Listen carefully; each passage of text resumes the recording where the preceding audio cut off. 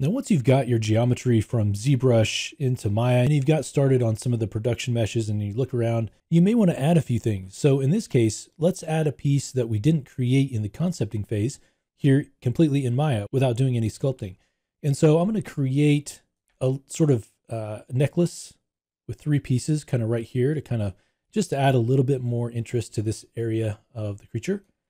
And so to start, I'm going to go in and create a polygon primitive and I'm just going to create a pipe. Let's move it up here. I'm going to go over to the creation node and change the radius. So it's a little bit bigger. I'm also going to rotate it, kind of something like that. Okay, let's change the height. That looks pretty good. On the thickness, I actually want to make that a lot thicker, and then I'll increase the radius. And again, rotate, pull it out so we can see it a bit better. I also want to change the subdivisions along the axis. So let's come in here and let's actually bump it all the way up and let's go up to 60. I'm just looking at these sections here and there are just a few of these that I want to be able to use. Let's go ahead and change our thickness, make it a little bit thicker, something like that. And let's add our radius. All right. So once we get something like this, now we can eliminate any of the geometry that we don't need. Okay, so in this case, I'm going to select initially the ones that I do want to keep. So I'm going to keep these two, these two, and these two. Now, quick way to invert our selection is to hold shift and just drag across the whole thing. And you can see now I've got everything else selected. So now I can hit just hit delete, like that. All right, so now we've got these selected. We can go ahead and center our pivot on those. And now I want to make some uh, a necklace out of this. So I'll kind of rotate it so it's up against the skin. We can add some thickness to this. Okay, let me pull this out a little bit more. Control E to extrude, and we'll extrude it back. Let's take our divisions down to one. You can also isolate, isolate this. I'm now going to add an edge loop in the center. So I'm to hold down Control with multi-cut selected, hit Shift, pop it right into the middle.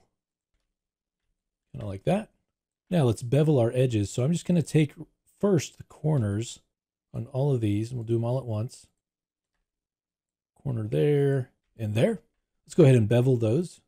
And I think 0.5 is a little bit too much, so let's set this to maybe something like 0.2 or 0.3, something like that. So it knocks the corners off a little bit. All right, now what I want to do is I basically want to select all of the edges around the top. So I'm going to select all the edges going all the way around, and then I'll just deselect some of these. So I'll deselect all of these coming around here. I just want to do another bevel to kind of knock off the top and bottom corners. All right, and then we'll do the same thing here.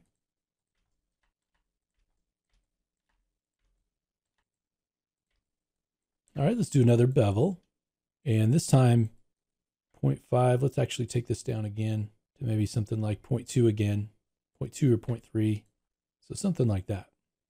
All right.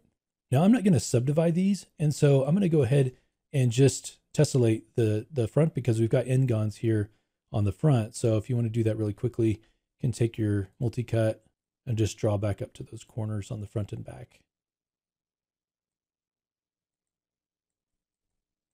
Okay. And so you do that on the rest of them. And let's go ahead and create the necklace piece. So I'm actually going to scale these up a bit, maybe move them up slightly. Looks pretty good.